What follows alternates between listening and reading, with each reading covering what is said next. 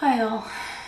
Um, I am recording this. Um, I was planning and hoping to do this as a Facebook Live, but I'm not really sure that I want to post this video. I guess I'll decide a little bit after I record it.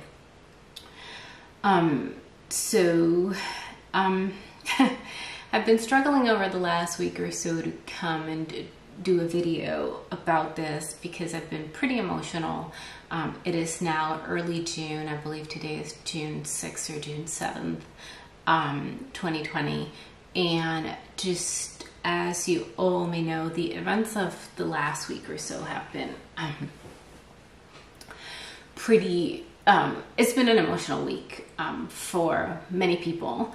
And I've been sort of struggling to decide whether I wanted to do this video or not. And those of you who know me well know that I'm not really, I kind of hate cameras, I hate pictures, I hate videos. And um, over the last year, I've gotten a lot more comfortable with that because of my YouTube channel.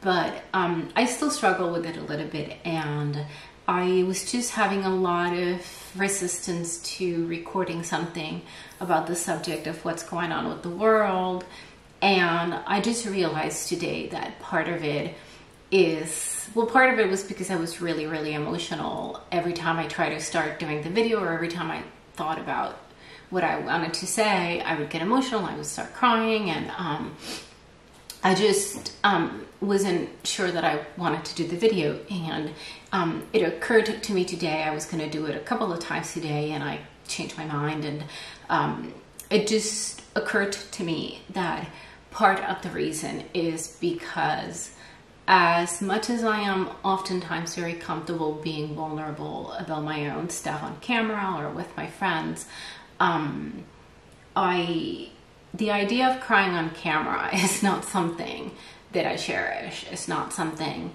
that I wanted to do. And even now I'm struggling just even looking at the camera. So I'm going to try and focus here.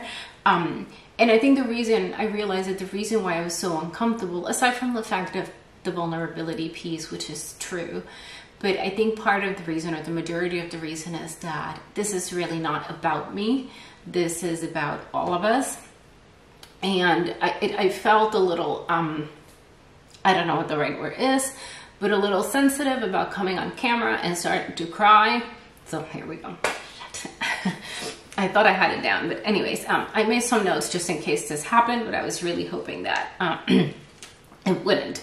So anyways, um, but like I said, I'm not really sure if I'm going to post this, but I'm doing it anyways. So um, I wanted to talk about the events of the last week. Um, what happened with George Floyd and all of the riots and protests that have come since. Um, it is a really crazy time in our world. and I've had been doing a few videos because of the uh, corona, well, well, the situation, the virus situation that's going on in the world. And, um, and I, I think we were all already stressed out and very sensitive. And then um, on the heels of that, this situation comes, and it's not a new situation, it's something that's been happening for a while. Um, I had actually been struggling with my emotions for the last few weeks um, uh, because of uh, the murder of, um, of Breonna Taylor, of Ahmaud Arbery. I was just already having feeling a lot of anger um, even rage i was I had made a few pretty angry posts on my Facebook page, which are still there for those of you who um, who have access to my personal Facebook page. And I actually had to edit those many, many times because the first few drafts were just full of curse words uh, because I was just really angry and really fed up. And apparently, I wasn't the only one. So by the time the George Floyd thing happened, I was just tapped out um, when it came to um, people being murdered. And um, because it, to me, that's what it is. It was a murder. Um, and this is not new. This is something that's been going on for a long time. This is something that I've been worried about for a long time, but but actually seeing it, I usually try to stay away from those videos, but actually seeing it happen and um,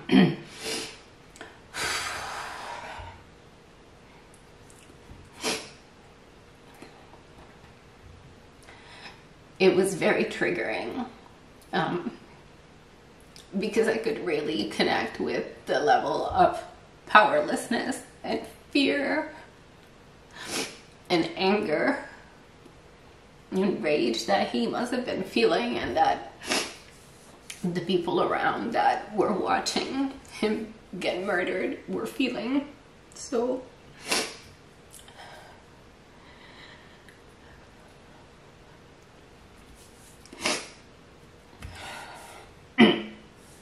so anyways, um, so it was hard for me and for everybody else to watch that. And um, I, like I said, I've been pretty emotional about it. Um, and I also had a real hard time after, in the aftermath, uh, being able to empathize or communicate with people who were more concerned about the looting that was happening. And I'm not trying to pass judgment on anybody. I am past that at this point, but uh, during this last week, it was really hard for me to understand I don't like looting. I don't like violence in any way, shape, or form. I wasn't happy about it. I live in Boston, and there was some of that happening here. Not to, there wasn't as much violence as it was in other as there was in other cities, but there was some here, and I understand why people were concerned and why people were upset. But the lack of empathy for the murder of a human being versus and the lack of rage over the murder of a human being versus rage of property being destroyed was um, a little hard for me to handle. Um, especially because some of it was coming from people that I know, people that I know to be kind people, some people in the spiritual community. Um, so I've had a lot of thinking to do and a lot of feeling to do over the last week. Um, and I think there was that. There was also this idea that people were talking about some of George Floyd's potential. I don't know if this is true or not. The fact that he may have had a couple of criminal or some sort of criminal past, maybe some, um, I think, misdemeanors on his record and something like that. Um, this is something that came up with Ahmaud Arbery and it came up with uh, Breonna Taylor. And it always comes up when these cases happen is people always look for an excuse because that is what it is an excuse of why this unarmed civilians, unarmed US citizens, unarmed humans, because it really doesn't matter if they're citizens or not, unarmed human beings are being murdered by the very people that are meant to protect us. For those of you who are watching this and do not understand and cannot empathize, I ask if you have had anything in your past, if you've ever had violence perpetrated against you. For those of you who are victims of abuse, whether it's childhood abuse or even domestic abuse, rape, have experienced any sort of violence in your life, think about how powerless, how rageful, how hurt you felt while that was happening. And this is what minorities have to live with on a daily basis, at least in the US. Um, racism is a worldwide problem. This is not something that is limited to the US. I am just, but I've only lived here and in Puerto Rico, so I don't know if the level of violence perpetrated against minorities, especially against the black community, is something that happens worldwide. I believe it is, but I believe it is worse here. I don't know if that's true or not. But ultimately,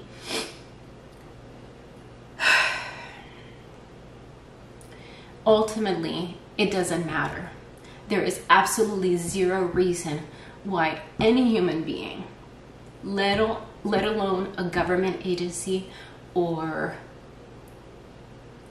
our law enforcement, should murder or even pull a gun on an unarmed human being. I just don't understand it. I understand that these people have a really hard job, that they're putting their lives on the line. But that comes with the territory. That is what you sign up for when you sign up to be a police officer. And I don't want to be insensitive to all the people that may be watching this and may be related to police officers or, or have had family members that are police officers that have been killed in the line of duty. But the truth is that that is what you sign up for. As a citizen, as a civilian, you don't sign up for being murdered by the very people that are meant to protect you. And it is really hard to watch people trying to make excuses for this behavior.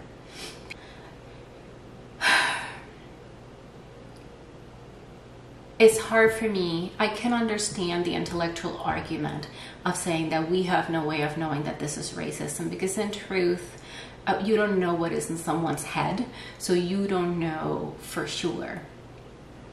But, you know, if it walks like a duck and it quacks like a duck.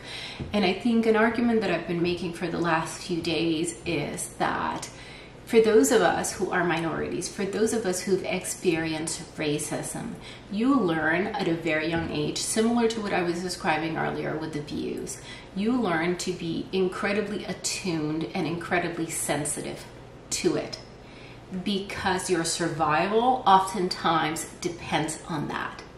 So, what other people may not know or sense as racism, someone that's already had those experiences will see, will feel the truth of that.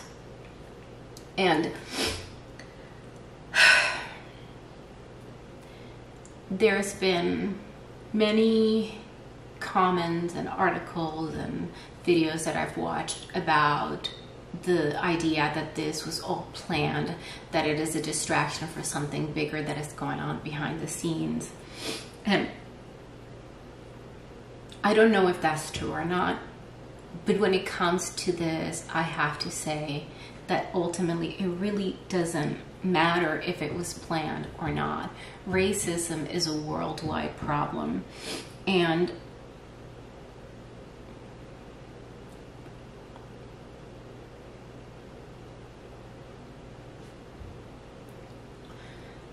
the pain and the fear and the powerlessness that we feel when in situations like that that George Floyd felt that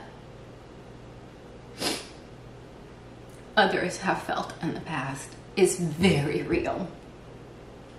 And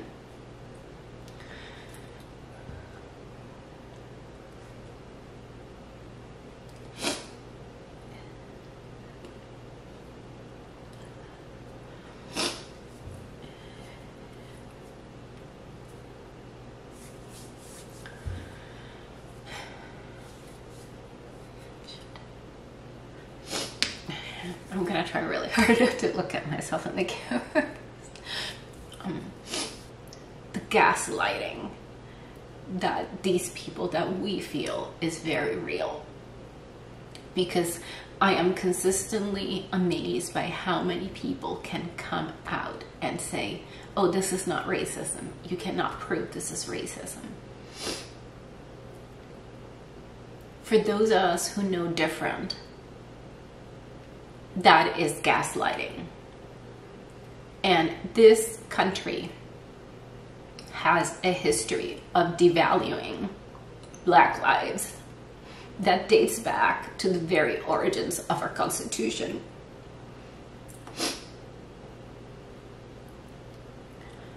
And I can actually throw all minorities in there, but right now I want to focus about on the black community. We have been doing this for centuries. And when they protest peacefully, we tell them they can't. When they call it out, we gaslight them and tell them that they're making things up, that it's not racism. So I think it's time for all of us, those of us who are minorities, black, white, Latin, Asian, to all stand together. And for those of us who are not, my, or for those of you, I should say, that are not minorities, to stand together. We don't all have to agree with everything. We don't all have to feel the same way. We don't all have to believe the same things or think the same way. We are different. We have different life experiences. So I understand why some white US friends that I have don't understand certain things. I appreciate them asking questions, asking them respectfully. I don't speak for all minorities. I don't speak for the black community. I am just sharing my perspective and how I feel about this. And I appreciate the when questions are asked. I appreciate people providing a different point of view. But I ask for that to be done respectfully. I ask for that to be done without dismissing my perspective of the perspective of other minorities. And at the end of the day, I ask that we all come together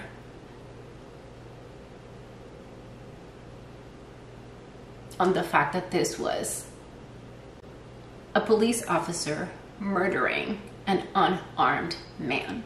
That this hasn't been police officers murdering unarmed civilians.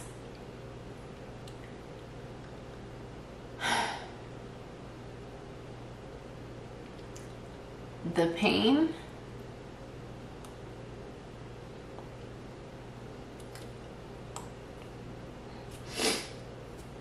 the powerlessness that has been inflicted on the black community in this country, all minorities, but especially the black community in this country. Like I said before, dates back to the beginnings, to the origins of our Constitution, and has been perpetuated generation after generation. And it's time, it's time, it's time that we all come together and we say it's enough. For their sake, for our sake, um, their meaning ours, because I'm including myself in that, um, for all of our sakes. And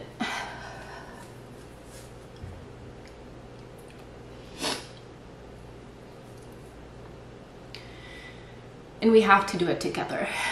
We cannot do this alone. We cannot do this separately. We all have to come together. I understand that not all cops are bad. I understand that there are some good cops. But you cannot call yourself a good cop if you are watching this happen and you are remaining silent. You cannot. I understand that a lot of cops have been speaking out even prior to the